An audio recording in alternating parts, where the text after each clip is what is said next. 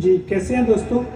आज हम सोडा बाइकारब यानी कि सोडा खुर्दनी, जिसको हुर्फ आम में मीठा सोडा भी कहते हैं, इसके बारे में सबका जारिए के तौर पर वीडियो बना रहे हैं। हर जगह आसानी से मिल जाता है। आम तौर पर आटे में खमीर पैदा करने के लिए इस्तेमाल किया जाता है। ये बतौर दवा भी कई बीमारियों में दिया जाता है। और बहुत मुफीद साबित होता है।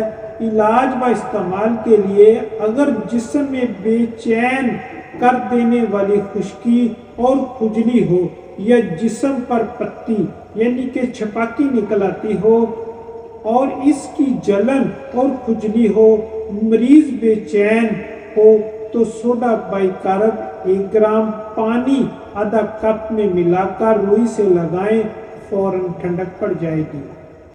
अगर बदन का कोई हिस्सा आग या पानी से जल जाए तो सोडा जली हुई जगह पर लगाया जाए या थोड़ा पानी मिलाकर लेप कर दिया जाए तो फ़ौरन जलन दूर हो जाएगी। दांतों में दर्द रहता हो या कोई दांत गल सड़ गया हो और इसकी वजह से सर में दर्द रहता हो, दोनों सूरतों में यानी कि मीठा सोडा या सोडा बाइकारब तीन ग्राम आधा कप पानी में हल करके कुलियाँ की जाए, आराम आ जाएगा। कभी कभी खांसी का भी सबब मैदा की खराबी होती है।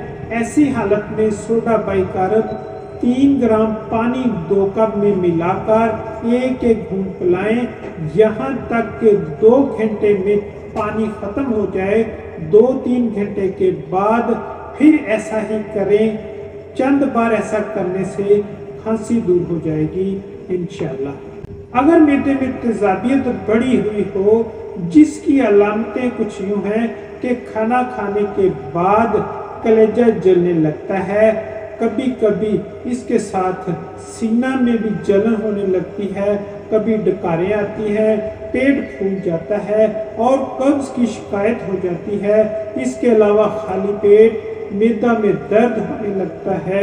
इस सूरत में सोडा बाइकारब एक ग्राम जंजबील, यानी सुन आधा ग्राम बारीक पीस कर पानी से दें। अगर ज़रूरत हो तो दो घंटे बाद एक खुराक और दे सकते हैं। इनशाला आराम हो जाएगा। सोडा बाइकारब का मजीद मरकब जानिए।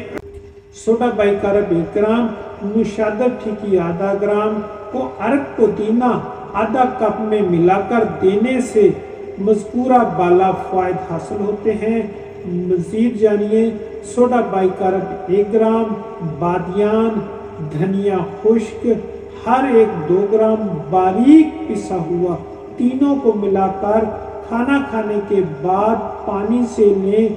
दोनों वक्त इसी मिकदार में इस्तेमाल करें। अलामत मैदे की के लिए इंतहाई मुफीद है। अगर खून में तजाबियत बढ़ जाए और इसकी वजह से सूखी खुजली इतनी ज़्यादा कि मरीज़ खुजलाते खुजलाते परेशान हो जाए तो इस हालत में सोडा बाइकारब एक ग्राम आधा कप पानी में हल करके दिन में चार बार दें और 50 ग्राम सोडा एक बाल्टी में मिलाकर मरीज़ को नहलाएँ। अगर तेजाबियत के बढ़ जाने से थोड़े फिंसियाँ निकल रही हों तो इस सूरत में भी यही फ़ायदा अमल रहेगा। एहतियात के लिए सोडा बाइकारब को थोड़ी थोड़ी मकदार में बार बार इस्तेमाल कराना चाहिए। ज़्यादा मकदार में लेने से फ़ायदा की बजाय नुकसान पहुँचता है। अल्लाह ताला हम सबका हामी नासर हकीम खालत खालद वाखाना चौक हारनिया वाला वल्ला गोदाम ज़िला उपाड़ा शहर।